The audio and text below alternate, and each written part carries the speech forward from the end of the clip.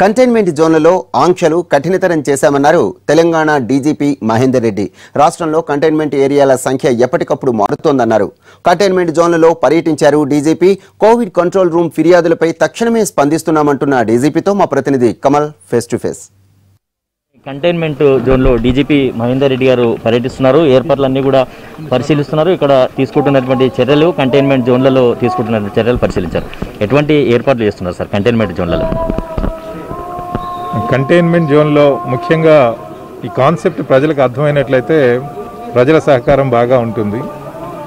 మనకి లాక్డౌన్ చేసినప్పటికీ కూడా ఫ్యామిలీలో ఉన్న ఒకరిద్దరు బయటకు వచ్చి కూరగాయలు ఎసెన్షియల్ కమోడిటీస్ లైక్ గ్రాసరీస్ ఇవి తీసుకోవడానికి ఒక అవకాశం ఉంది. ఈ కంటైన్మెంట్ జోన్లో అవకాశం కూడా లేదన్నట్లు. మన జిహెచ్ఎంసీ ద్వారానే ఇంటింటికి కూడా కూరగాయలు వాళ్ళ రేషన్స్ అవన్నీ కూడా సప్లై చేయడం జరుగుతుంది వాళ్ళ అవసరాలను బట్టి. ఒక ఇంటి వారు పక్కింటి వారితో కలవడానికి అవకాశం లేదు. బయటికి రావడానికి అవకాశం లేదు. ఎవరింట్లో వాళ్ళే ఉండాలి హండ్రెడ్ పర్సెంట్. ఏ ఎక్కడైతే ఏ ఏరియాలో అయితే ఎక్కువగా కేసులు వస్తున్నాయో ఆ ఏరియాని మనం కంటైన్మెంట్ జోన్గా డిక్లేర్ చేసి చుట్టూ బ్యారికేడింగ్ చేసి ఎవరిళ్ళలో వాళ్ళే ఉండేటట్లుగా వాళ్ళ నిత్యావసర వస్తువులను కూడా వాళ్ళ ఇంటికే చేర్చే విధంగా చేయడం ద్వారా ఇక్కడ కంప్లీట్గా ఆ పాజిటివ్స్ వచ్చినటువంటి ఫ్యామిలీస్ నుంచి వేరే వాళ్ళకి స్ప్రెడ్ అవ్వకుండా ఈ కాన్సెప్ట్ బాగా ఉపయోగపడుతుంది కాబట్టి ప్రజలందరూ కూడా వాళ్ళ సహాయ సహకారాలు అందించాలి. దాని తర్వాత అడ్మినిస్ట్రేషన్ సైడ్ ఇటు పోలీసు జిహెచ్ఎంసి హెల్త్ డిపార్ట్మెంట్ వీరందరూ కూడా ఒక మల్టీ డిసిప్లినరీ టీమ్స్ ఇక్కడ ట్వంటీ ఫోర్ బై సెవెన్ ఉండి వాళ్ళ ప్రజల అవసరాలని గుర్తించి అవి ఏ అవసరాలు ఉంటే అవి తీరుస్తారు.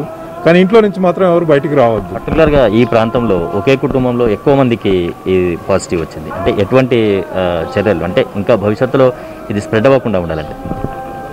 మన కంటైన్మెంట్ జోన్స్లో ఎక్కువగా ఒకటే ఫ్యామిలీలో ఇక్కడ ఉన్నటువంటి నేను విజిట్ చేసిన దాంట్లో ఒకటే ఫ్యామిలీలో చాలామందికి రావడం జరిగింది. అయితే ఆ ఫ్యామిలీలో ఉన్న మిగతా మెంబర్స్ అందరికి కూడా టెస్టింగ్ చేయడం జరిగింది. ఆ చుట్టుపక్కల ఉన్న వాళ్ళందరూ కూడా టెస్టింగ్ చేసాం సో కేవలం వాళ్ళ ఫ్యామిలీ మెంబర్స్కి మాత్రం వచ్చింది. ఇప్పుడు అక్కడ నుండి మళ్ళీ వేరే వాళ్ళకి స్ప్రెడ్ అవ్వకుండా ఉండడానికి ఈ కంటైన్మెంట్ జోన్ని మనం మేనేజ్ చేస్తున్నాం. అయితే ఇంటరాక్షన్స్ లేకుండా ఉన్నప్పుడు హండ్రెడ్ పర్సెంట్ ఇది చైన్ బ్రేక్ అయిపోతుంది దాని తర్వాత స్ప్రెడ్ అవడం మానేస్తుంది.